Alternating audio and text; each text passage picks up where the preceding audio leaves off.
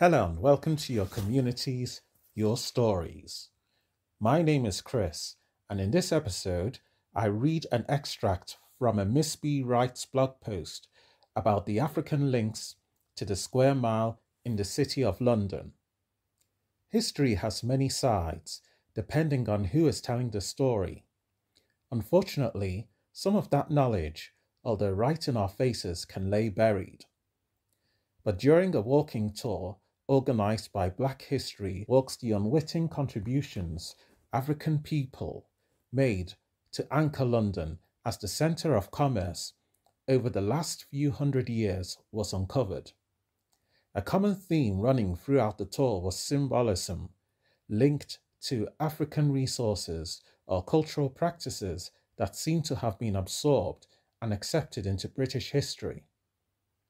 From Goldsmith Hall, minutes from St. Paul's Tube Station, and in other areas, such as the Bank of England, stone carvings featuring two snakes intertwined up a staff are visible.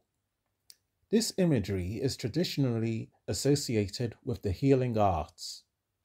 The symbol is known as caduceus and was borrowed by the Romans and Greeks from the Egyptians. The Greeks apparently took a lot of their culture from North Africa while studying there.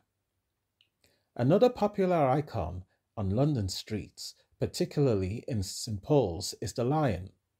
Although not native to Britain, the animal has become a symbol of pride and strength and ironically has become synonymous with Englishness.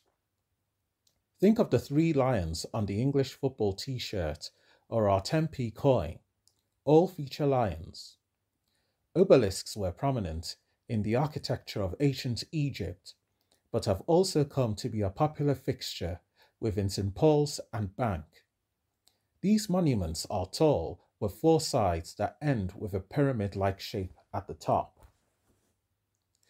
These constructions were originally known as Tekenu in Egypt, but were renamed obeliscus by the Greeks.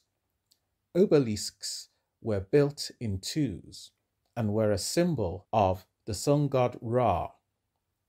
It was also thought that the god existed within the structure, but the global appeal has meant that obelisks are now dispersed around the world, and fewer than half of them remain in Egypt.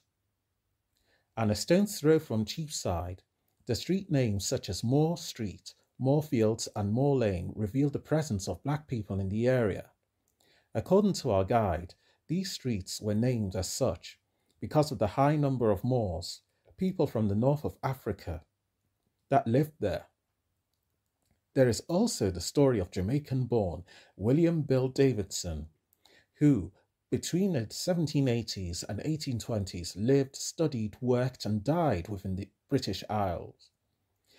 After enjoying a varied career, which included working in the Royal Navy, becoming a cabinet maker and studying maths at a Scottish university, he became an activist. Feeling motivated by the struggles of his fellow black people, he was involved in trying to blow up the Houses of Parliament, according to details from website blackpresence.co.uk. Sound familiar? And yet, why do I only know of Guy Fawkes, whom is remembered every 5th of November? According to our tour guide, he would have been successful if there had not have been an informant in his group. For his attempts to overthrow the establishment, he was tried and executed and beheaded at Newgate Prison. The site of today's Old Bailey, moments before he died, Davidson said he would rather die as a free man than live as a slave. Thanks for listening. That was an extract from a piece published in 2014 called Rewriting History with a Walk. To read the whole piece and to find out more on African history, please visit www.nisbywrites.co.uk.